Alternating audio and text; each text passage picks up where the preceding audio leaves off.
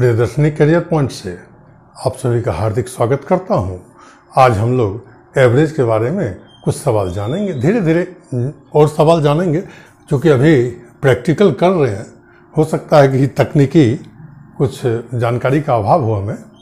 चलिए, सबसे पहले देखते हैं औसत बराबर।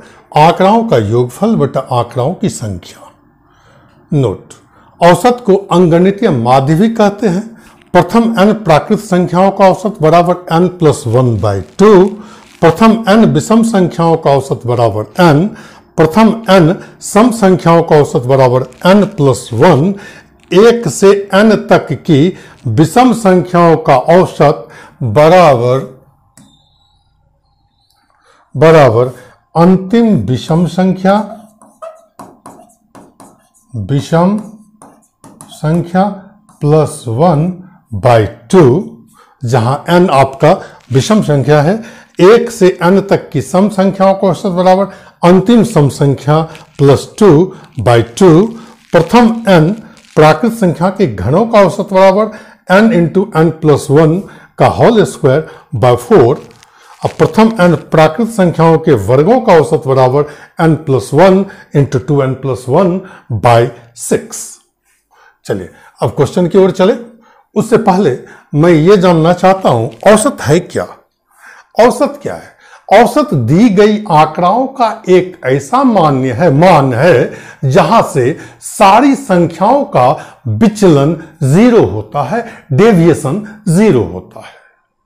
अर्थात हम कह सकते हैं, औसत एक बीच का मान होता है, मध्य मान होता है। चलिए, आगे चले हम।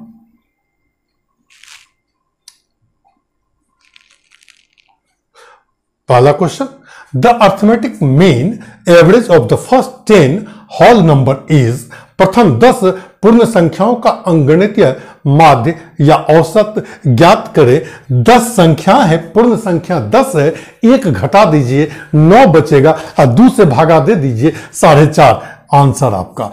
आंसर आपका क्या हो जाएगा? साढ़े चार। फोर पॉइंट फाइव यह आंसर होगा। ऐसा हमने क्यों किया? दस पूर्ण संख्या, दस पूर्ण संख्या की गिनती आपको नौ पे जाके समाप्त हो जाएगी। आइए देखते हैं। सबसे पहला, ज़ीरो, इसके बाद one, two, three, four, five, six, seven, eight, nine. अगर काउंट करें तो आपका दस पूर्ण संख्या आ गया होगा। देख लीजिए। दस पूर्ण संख्या आ गया है। कॉमन डिफरेंस समान है। कॉमन डिफरेंस आप देखिएगा, समान है। एक एक का डिफरेंस सब में जा रहा है। अगर कॉमन डिफरेंस समान हो, अगर कॉमन डिफरेंस समान हो तो प्रथम पद को, अंतिम पद को हम जोड़ देते हैं और दो से भागा दे देते हैं। प्रथम पद को, अंतिम पद को जोड़ करके, दो से भागा दे देते हैं। इतना जोड़ना ज़रूरी भी नहीं है। प्रथम पद क्या है आपका? ज़ीरो लास्ट पद क्या है आपका? नाइन बाय कर देंगे आप two equal to nine by two divide जब आप करेंगे तो फोर पॉइंट फाइव आएगा। वह डी नंबर आंसर है। चलिए, आगे की ओर चले हम। प्रथम दस प्राकृत संख्याओं का औसत ज्ञात करें। प्रथम दस प्राकृत संख्या, यानी गिनती की सारी संख्या को हम प्राकृत संख्या कहते हैं। एक से शुरू होगा। कहाँ तक जाएगा भाई? पचास तक। कॉमन डिफरेंस समान है। है कि नहीं है समान? बताओ। एक एक का डिफरेंस है ना? पहला टर्म एक लास्ट टर्म पचास। पहला टर्म एक लास्ट टर्म पचास। डिफरेंस एक एक का। पचास में एक को जोड़ दीजिए आप। इक्यावन। इक्यावन बटे दो कर दीजिए। पच्चीस पॉइंट पाँच। ये आपका आंसर हो जाएगा। आंसर क्या हो जाएगा आपका? पच्चीस पॉइंट पाँच। आंसर क्या हो जाएगा? पच्चीस पॉइंट पाँच। देखिए आप, एक लिखेंगे। दो तीन, चार, पाँच, सो ऑन। कहाँ तक जाना है बाबू? पचास तक जाना है। देखिए, सभी में कॉमन डिफरेंस क्या है? समान है एक एक का डिफरेंस है, सभी में एक एक का डिफरेंस है ना? फ़र्स्ट टर्म आपका क्या है? एक लास्ट टर्म क्या है आपका? पचास। एक को पचास के साथ जोड़ दीजिए। एक, जोड़, पचास बट्टे दो बराबर इक्यावन बट्टे दो फिफ्टी वन बाई टू जब डिवाइड आप करोगे तो ट्वेंटी फाइव पॉइंट फाइव आएगा। ट्वेंटी फाइव पॉइंट फाइव आ जाएगा। क्लियर कोई दिक्कत? यहाँ कॉमन डिफरेंस एक एक का था भाई। एक एक का था।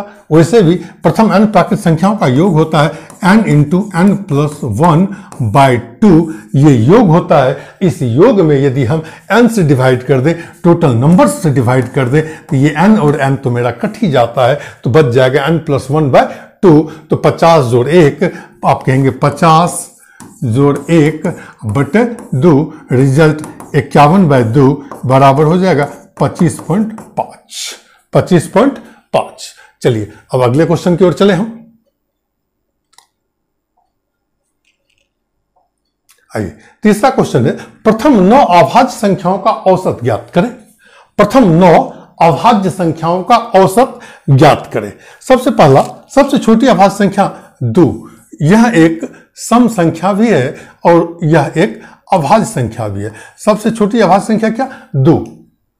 एकमात्र ऐसी सम संख्या है जो कि अभाज्य संख्या भी है, वह दो ही है। तो सबसे छोटी अभाज्य संख्या, दो, और वह सम अभाज्य भी है। दो, उसके बाद आप लेंगे क्या? दो के बाद तीन, दो जोड़ तीन, जोड़ पाँच होगा अभाज्य उसके बाद सात होगा, उसके बाद सात के बाद आ जाएगा आपका ग्यारह, सात के बाद क्या आ जाएगा? ग्यारह आएगा। दो जोड़ तीन, जोड़ पाँच, जोड़ सात, जोड़ ग्यारह, जोड़ तेरह, जोड़ सत्रह, पंद्रह नहीं होगा। सत्रह सत्रह के बाद उन्नीस उन्नीस के बाद इक्कीस भी नहीं होगा वह जाकर के तेईस होगा। टोटल मेरे हिसाब से शायद नौ आ गया होगा। बट्टे क्या करेंगे आप? बट्टे टोटल नंबर कितना है? नाइन। अब इसको आपको ऐड करना है। ऐड करने के लिए सबसे आसान तरीका होता है, जहाँ ज़ीरो बन जाए ना, वहाँ ऐड कर लो। जहाँ ज़ीरो बन जाए, वहाँ ऐड कर लो आप। देखो, तेईस को और सात को ऐड कर लोगे, ये तीस हो जाएगा। ये दोनों मिलकर के कितना दे देगा? तीस। उन्नीस को ग्यारह को ऐड करो, ये दोनों मिलकर के भी तीस दे देगा। सत्रह, तेरह ऐड कर लो, ये दोनों भी तीस देगा। कितना तीस, बाबू? एक तीस, दो तीस, तीन तीस। यानी तीन बार तीस तीस तिया नाइन चलिए, उसके बाद ये देखिए फाइव ऐड करेंगे थ्री टू ये तीनों मिलकर के टेन होगा। टोटल हंड्रेड हो गया। अब क्या करेंगे आप? नाइन जब इसको डिवाइड करेंगे eleven one by nine C number आपका आंसर हो जाएगा। क्लियर चलिए, अब अगले क्वेश्चन की ओर चले। अगला क्वेश्चन है, पचास तक की सभी विषम संख्याओं का औसत ज्ञात करें। सबसे छोटी विषम संख्या एक। आइए, एक। एक, उसके बाद लेंगे आप तीन, उसके बाद पाँच, सात, नौ, सोन, पचास तक। पचास तक, यानी पचास से पहले विषम जो होगा, फोर्टी नाइन होगा। पचास से पहले विषम क्या होगा? फोर्टी नाइन होगा।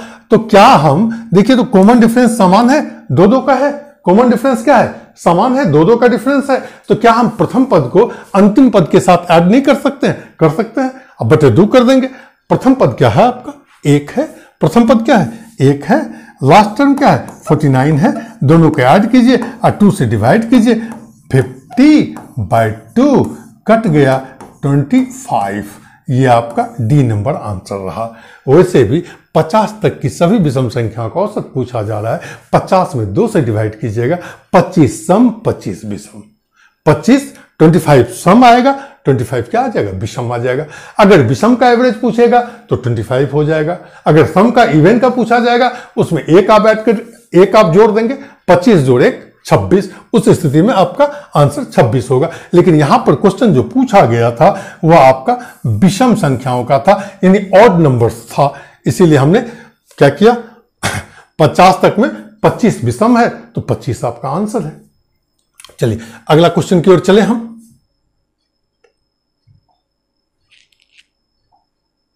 पांचवा क्वेश्चन है। प्रथम 100 घन पूर्णांकों का औसत ज्ञात करें। प्रथम 100 घन पूर्णांकों का औसत ज्ञात करें। आइए, एक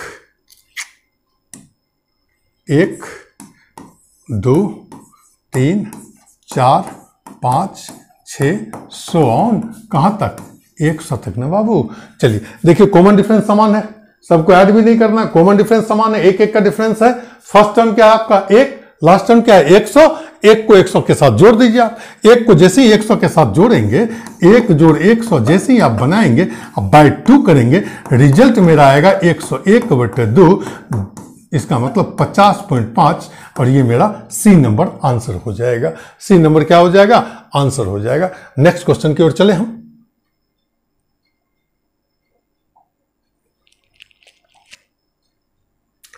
एक सौ से कम सभी विषम संख्याओं का औसत ज्ञात करें। एक सौ से कम the average of all odd numbers less than hundred will be तो सबसे छोटी विषम संख्या की बात करें one one three five seven nine so on एक सौ से कम है, यानी ninety nine first odd number one last ninety nine by two hundred by two. Result कितना? फिफ्टी। बी नंबर आंसर मेरा बी नंबर आंसर हो जाएगा। अगला क्वेश्चन की ओर चले।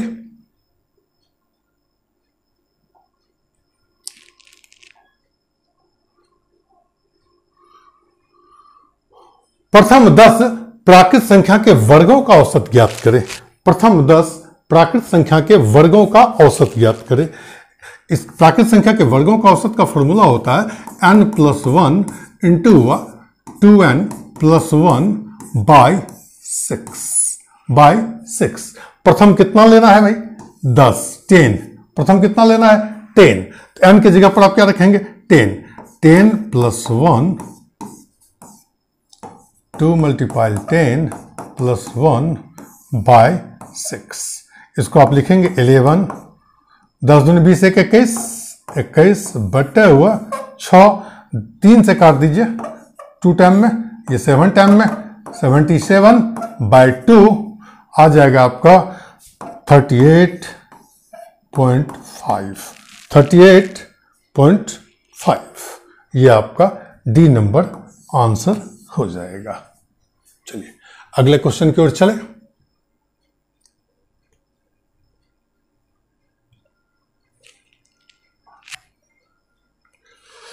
हाँ बहुत ही अच्छा क्वेश्चन है। तीन संख्याएँ x, y, z का औसत 45 है। उनमें x संख्या y तथा z के औसत से y तथा z के औसत से 9 अधिक है। Y तथा z के औसत से 9 अधिक है। Y और z का औसत y और z का औसत y से दो अधिक है, तदनुसार एक्स और जेड का अंतर्ज्ञात कितना है, अंतर्ज्ञात करें। ठीक है? आइए। अब देखिए, अगर मैं कहूँ आपसे 10 और 20 का एवरेज ज्ञात करें तो आप कहोगे, सर, ये 15 होगा। तो यहाँ से यहाँ तक का डिस्टेंस माइनस फाइव यहाँ से यहाँ तक का डिस्टेंस प्लस फाइव यहाँ देखिए, जितना ये कम है, उतना ही ये क्या है? ज़्यादा है।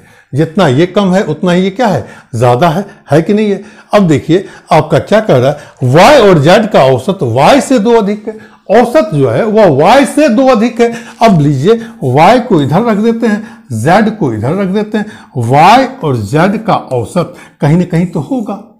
ये औसत, ये एवरेज ये एवरेज जो है, वह y से दो अधिक है। ये minus two y minus two में जाएगा तो z क्या आएगा? प्लस टू में आएगा कि नहीं? देखिए, जितना ये कम, उतना ही ये ज़्यादा होगा ना? उसके बाद क्वेश्चन में कहा जा रहा है, उनमें x संख्या y और z के औसत से 9 अधिक है। Y और z का औसत ये है, इससे 9 अधिक कौन है? 9 अधिक तो बाबू मेरा x है। 9 अधिक x है। आपसे पूछा क्या जा रहा है? आपसे पूछा क्या जा रहा है? आपसे पूछा यह जा रहा है, x और z का अंतर ज्ञात करें। आपसे पूछा यह जा रहा है, जो x और z का अंतर ज्ञात करें। एक्स और जेड का अंतर ज्ञात करें। अब देखिए यहाँ से यहाँ तक का डिस्टेंस दो यूनिट यहाँ से वहाँ तक का डिस्टेंस दो यूनिट यहाँ से यहाँ से पूरे का होल डिस्टेंस कितना? नौ अधिक था ना? देखिए तो वाई और जेड के औसत से नौ अधिक, ये नौ अधिक है, ये डिस्टेंस दो है, ये पूरा डिस्टेंस, होल डिस्टेंस कितना है? नौ है।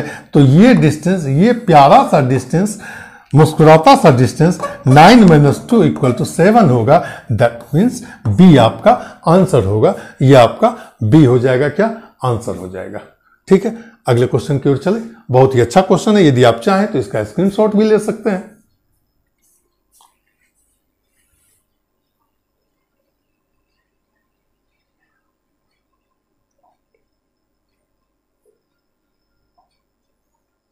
चलिए ए बी सी का औसत एम है, यदि a b a b plus b c plus a c equal to zero हो तो a square b square c square का औसत ज्ञात करें। ठीक है? हमें दिया हुआ क्या? ए बी सी का औसत। ए बी सी का औसत।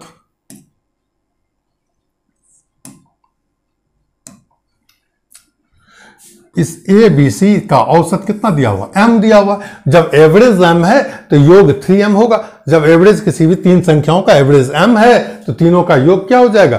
थ्री एम तो हम कह सकते हैं a plus b plus c equal to three m उसके बाद दिया हुआ आपको a b plus b c plus a c equal to zero निकालना क्या है?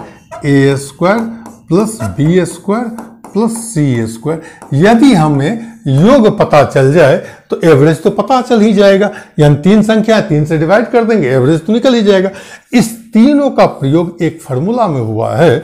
वो आप लोग जानते ही होंगे A plus B plus C का होल स्क्वायर बराबर आपको A square plus B square plus C square plus two into A B plus B C plus A C.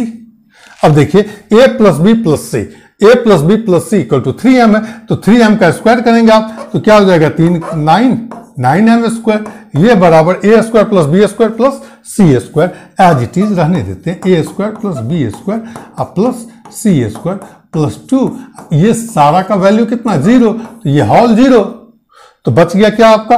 A square plus B square plus C square बराबर nine M square average निकालना है तो by three कर देंगे। Nine M square by three three से three time में cut जाएगा result आपका थ्री एम स्क्वायर हो जाएगा। वह आपका बी नंबर में दिया हुआ है। वह आपका बी नंबर में दिया हुआ है। अगले क्वेश्चन की ओर चले। पहले क्लीन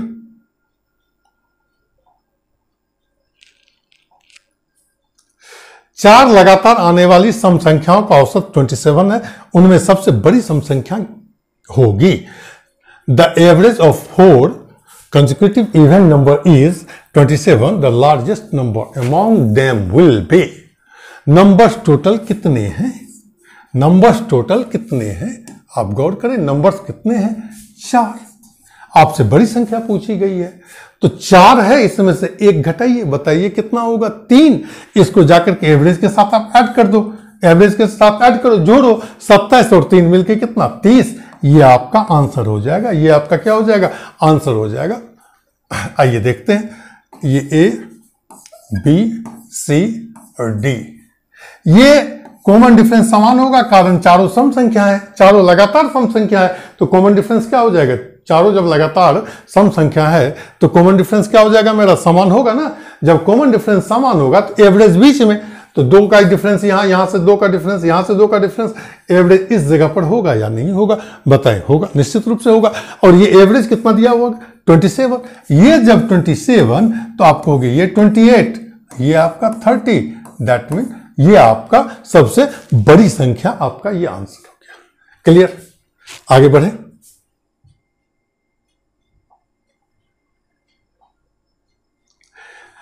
यदि six A plus six B बराबर एटी फोर हो तो ए और बी का औसत ज्ञात करें।